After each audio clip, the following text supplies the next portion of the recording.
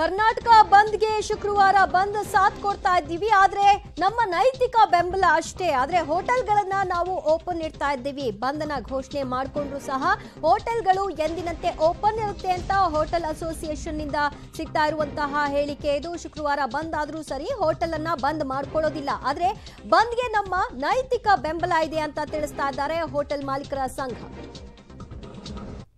ಈ ಇಪ್ಪತ್ತೈದರಂದು ಕರ್ನಾಟಕ ಬಂದ್ ಎನ್ನುವ ಮಾತು ಕೇಳಿಬರುತ್ತಿದೆ ನಮ್ಮ ಹೋಟೆಲ್ ಉದ್ಯಮ ಎಸೆನ್ಷಿಯಲ್ ಸರ್ವಿಸ್ ಅದರ ಜೊತೆಗೆ ಈಗಾಗಲೇ ಕೋವಿಡ್ ನೈನ್ಟೀನ್ನಿಂದ ಇಡೀ ರಾಷ್ಟ್ರವೇ ತತ್ತರಿಸುತ್ತಿದೆ.